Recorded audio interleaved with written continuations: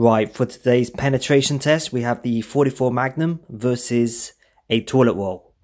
Let's see if a pellet can pass through the whole toilet roll.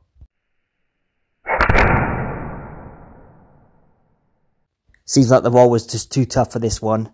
The pellet went halfway through, but didn't penetrate for the other side. I'll find it when I get to that sheet.